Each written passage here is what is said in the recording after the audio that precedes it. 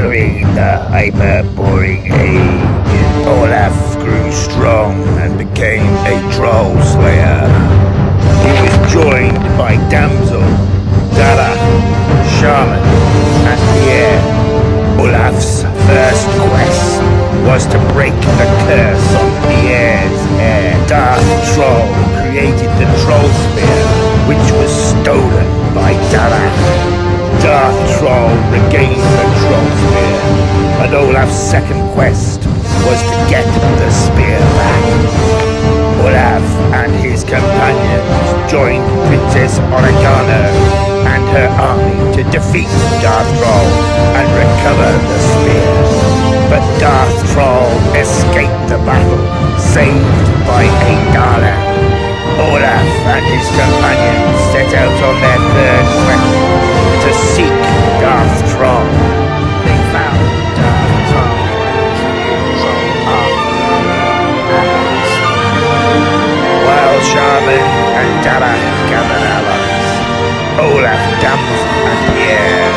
searched Amaryllis with the Darth Troll.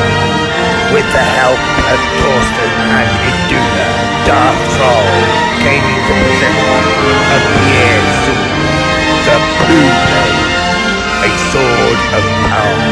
Now, Olaf and his companions